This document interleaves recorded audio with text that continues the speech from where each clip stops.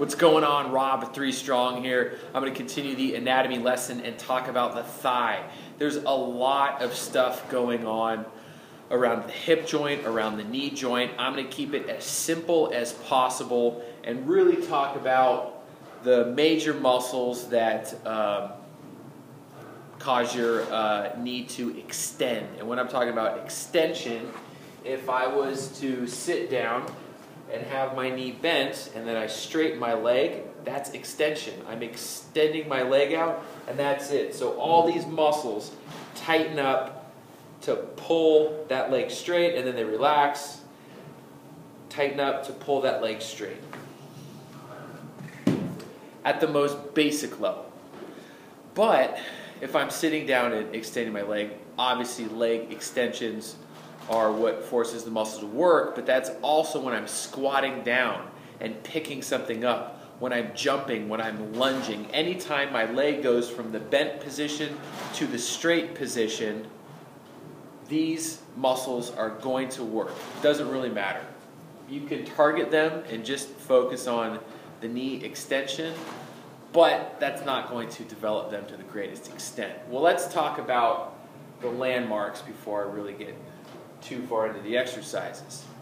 Yes, there's a lot going on here, which I'll cover in future videos, but let's just focus on the quads. Why is it called the quads? Because there are four major muscles. We have the vastus medialis, we have the rectus femoris, which is in the middle, and then over here on the outside, this really long muscle is the vastus lateralis. That's only three. The fourth one lies underneath the rectus femoris, and that's called the vastus intermedius. So medialis, intermedius, lateralis, with the rectus femoris sitting on the top. The interesting thing is all these muscles attach into the pelvis, which means it crosses the hip joint. At the, at the bottom end, at the, at the distal end, this, all these quad muscles come down to one fascia, this connected to, actually it's a tendon, so the fascia connects it to the tendon, and it stretches over the kneecap. So this muscle crosses the knee joint and it crosses the hip joint. So it serves two different purposes. To uh, uh, to some extent, it pull the knee up, so flex the hip, and then extend the knee. So that's why if you are sitting down and your legs are extended out in front of you, your quad is actually in its shortened state.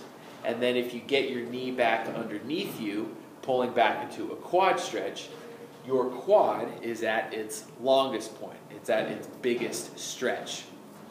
Well, each of these little muscles are obviously working when we're doing that knee extension, but they serve slightly different purposes. They are all going to work, whether we're doing a squat, a lunge, things like that, but the difference in range of motion and the speed of the movement will let you know which muscle is really going to kick in and uh, work even harder than, than, than the other ones.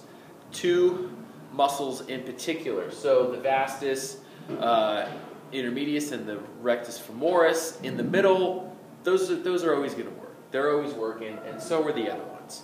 This little teardrop shaped muscle, the vastus medialis on the inside, if you want that little teardrop there, the nice little bulge in the inside, this muscle is really designed at the furthest end of the range of motion. So if you're going down into a deep squat, and I'm talking about past 90 degrees of knee flexion, that muscle really helps to get the leg going with the extension. That's why if you look at um, Olympic weightlifters, any one of the power lifters, those guys, they have a pretty good uh, size vastus medialis. That's because they're getting very deep in, into their squat under relatively heavy load.